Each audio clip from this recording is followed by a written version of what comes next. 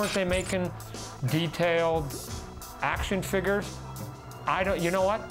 I don't know. The guys that are sculpting for my company, they love Aliens and Predator. They love Terminator. You can't imagine how enthused they are. Making toys, you're always trying to go, how can we make this the most interesting? So a couple things that we, we strive for, not unlike what I did in comic books, which are, what are the key moments of this movie?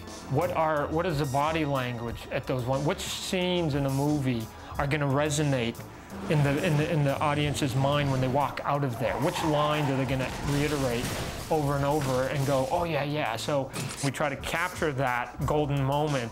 There's a great scene with Arnie where he's, he's got, and please go watch your movie because I might spoil something here. So stop, go watch your movie if you haven't already. Uh, he's got the he's got the casket on his shoulder, and he's sort of using it as a shield, so it gets all shot up, you know, bing, bing, bing, bing, bing. Oh my gosh, you know, Arnie's doomed. He's gonna get killed, or there's a dead body in there or something. And then there's the golden moment where he puts down the casket, and you think, oh my gosh. And then he opens it up, and there's like an arsenal of guns inside, and you go, those guys are SOL now because the Terminator, he's loaded, right? So here's the casket, and again, He's been shot at, so don't do it before the fight. Do it in the middle of the fight. Some of the people here that work for me thought, oh, cool, just a little casket. If anything, they thought there was going to be a body in it or something else. But they were all surprised when they opened it up and they got to see that that not only is the arsenal in there, but a lot of the stuff actually comes out. And you can sort of, you know, you don't get to put it on Arnie, but it's just the stuff that's actually in the movie.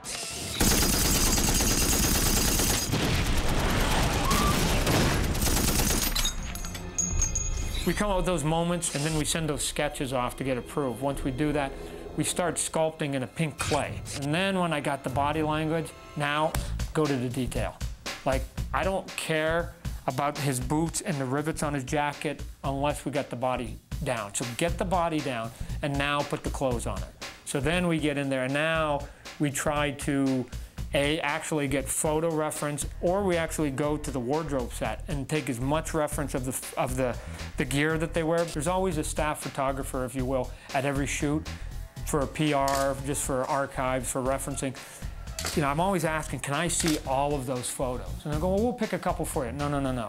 I want to look through them myself. So myself and my head toy guy, we went because what we're looking for sometimes might not be what you think we're looking for. I need a close-up of her bracelet. It's sort of a dull photo of a hand and a, and a okay, cool, I, I, need that. You know, I need, I need the clothes. I need to see sort of what their body's like. We probably pulled that first day 400 photos. There's never too much information you can have when you're actually trying to replicate something. One of the things that may be a little bit odd with, uh, with our company is that my R&D department, research and development, is in New Jersey, and I live here in Phoenix. It's not as big a hindrance as people may think. I have a video link up. Hi, Todd. Then we just pop on the TV, and I get them to show it to me. You to send that down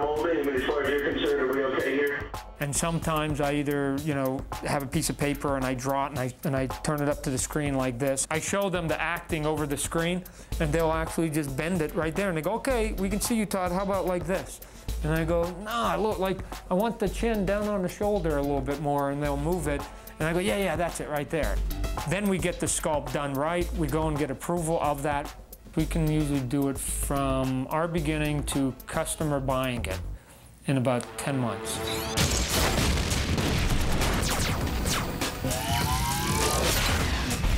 In Hollywood, you have staged lighting. And a toy that's going to be under a fluorescent light at a, at a toy store or some other place, record store, this guy is standing there in, in all his regalia, and you get to actually stop and look at him and go, uh-huh, uh-huh, uh-huh. So it better look cool. For instance, if he's got this belt that's open right here, and he's got the little eyelets in there, we make sure that we paint all of those. If he's got, again here, straps on his boot and a zipper that's open there, plus he's got a chain, on the back of his boots. The Kristanna figure here comes with uh, two hands because she does some morphing, as you've seen, where she goes like this and it goes, and she's got the, the cybernetics in here. So when you buy this toy, you can actually pop this, this arm off here. Got a little bit of a mushroom cap. And then we've actually got a uh, flesh arm in there, a normal hand. So if you just want to have her completely human, if you will, you can do that. But if you want to do a little bit of a of a, of a morphing, because to me it's a little bit interesting to just sort of give a tease of what she looks like a little bit later on in the movie. You can pop that one in there. Who wouldn't want a little Arnie, bad boy Arnie, sitting on top of their computer? When people come into their house or they go to their, their workstation, they don't go, hey, Jim, is that an Arnold toy? Are you now a geek and are going to collect toys and are mentally arrested? Are you now getting immature? That's not how it goes. You know how it goes? They see this Arnold toy there, and the guy comes in, he goes, Jim, is that Arnold? Did you see that T3 movie? Remember that scene when he had the big bazooka? And then remember like eight years ago when they were talking about doing T3 and the first time I saw the Liquid Man in T2? Oh my gosh, you know? It's not a geek thing why people buy this stuff. It's no different than the books that they have around their computer or at home or the shirts that they wear with favorite teams or bands or even tattoos or the hats that they have with logos. It just is stuff, it's clutter around their environment that basically says this is who I am and this is what I like as an individual. It's just stuff that we like. It's pop culture, and you don't have to read any more into it than that.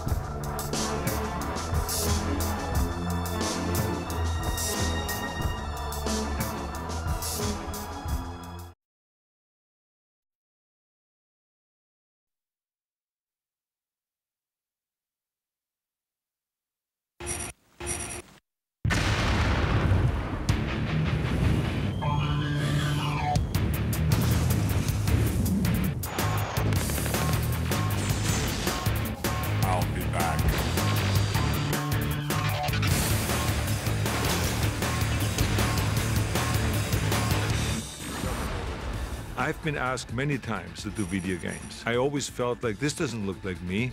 I mean, this is not my face. So I always stayed away from that if it is not my likeness or if it doesn't do the movie justice. I did have a thought that they would probably make a video game. I would be the uh, predator since I am the bad guy in the film. There's so many corners and recesses of the Terminator mythology that you can explore, and a movie lets you explore a certain number of them, but you only have two hours in a movie. In a video game, you have as much time as you want to spend. It allows you to explore all the areas and aspects of the story that you yourself might be interested in.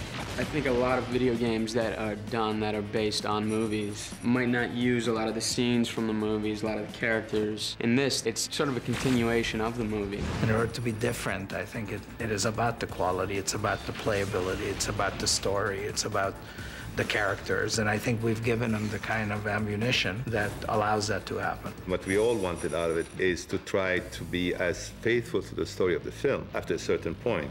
And then you give them, you know, the flexibility to go and explore things that are maybe mentioned in the movie. The wonderful thing is that the gaming industry and the movie industry, especially the science fiction, fantasy, and horror movie industry genre, the audiences are the same. In today's world, the mind of the kid who loves this type of movie loves games. What happens with a lot of these video games is that the companies just sort of piggyback onto the movie and they release a video game that has the title of the movie and some visual content of it, but basically is just sort of an afterthought.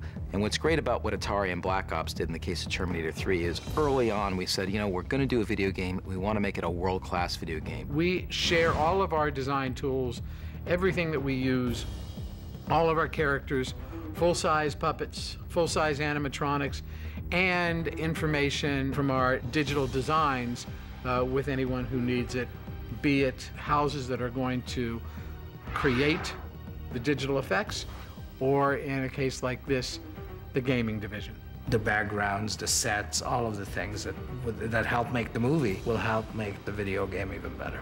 We worked really very closely with the video game developers to make sure that the game was a full experience of seeing the movie and not just some sort of afterthought that a video game company was dumping out in the marketplace. John Connor, it is time. We did actually shoot one scene that we wanted to put in the video game. It makes the game even more real than a game, you know, it makes it like movie plus. It's a scene that helps the audience understand how the Terminator came to be. Hi, I'm Chief Master Sergeant William Candy. Why is Terminator always coming back from the future with the same body, with the same accent, the same look? It clears up the mystery about the mythology of the Terminator, about how this machine became the machine and why it looks like Arnold. It is now within our power to make war safe. And that is truly priceless. I don't know about that accent. We can fix it.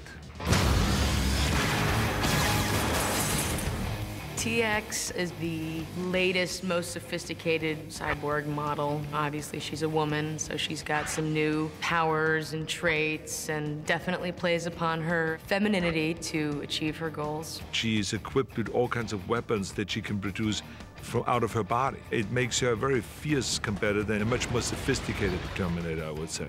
The design of the TX was probably our most important job on Terminator 3. She had to be stronger than Arnold, more advanced than Arnold, and fit under the skin of Kristanna Loken. The TX is more powerful, is stronger, is faster, has more capabilities. Oh my God! Frankly, you're kind of outmatched, so it's pretty tricky how you manage to get around the obstacles that she throws at you during the game. It's beyond me that it took us three movies to realize that the baddest of all Terminators was going to be a female. She's definitely got uh, a few tricks up her sleeve. You have storylines that occur in the future, storylines that occur in the present, storylines in the past. For a movie, it's very hard to bounce around between all those different time frames. But the great thing about a video game is you can explore all those different dimensions. The thing that had me really excited about the video game is that here's a chance for us to explore all these different timelines in a parallel format. And I think that's incredibly exciting, simply from a storytelling point of view. Of course, it makes for a great game as well, but it's a wonderful companion with the movie itself. The game's basic premise in general is we're actually mirroring the movie in addition to adding some sequences that are normally off screen or away from the movie. You'll be able to basically get uh, the full feel of what it's like to be in that future post-Holocaust nuclear war with the Skynet sort of dominating the skies and, and in the communication systems, things like that. This is the first time on the video games that we actually integrated uh, the classic first-person shooter uh, gameplay with the hand-to-hand -hand combat.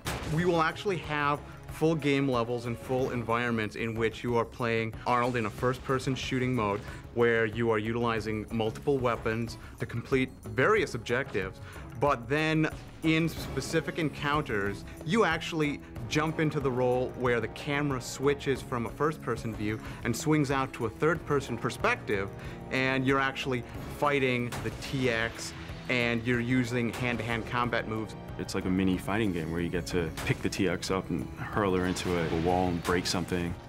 You actually get to pick up a rocket launcher. You get to pick up a phase plasma rifle. You get to fight all the forces of Skynet that you've never been able to do before.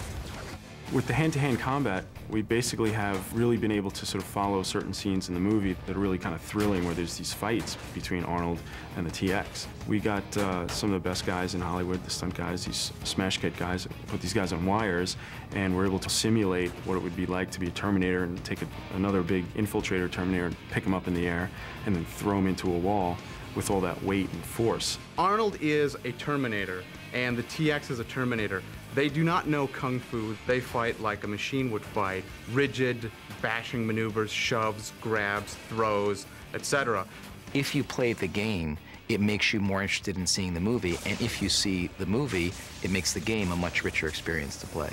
I think that the video game adds a lot to the mythology of, of, the Terminator. Video games have become so advanced. The kid that's playing it is watching the movie and operating their own characters within the movie.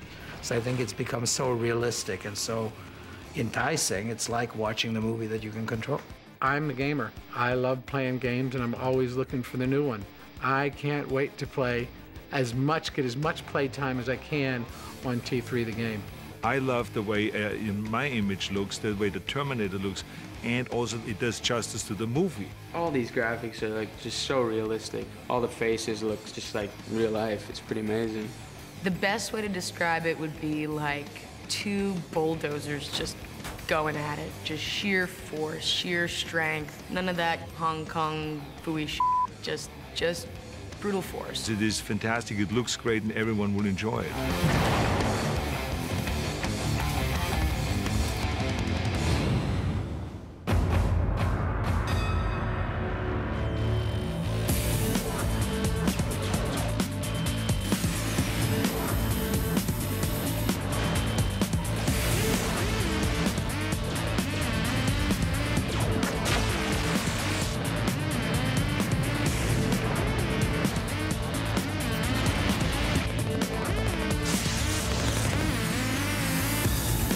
Terminator 3, Rise of the Machines, available now.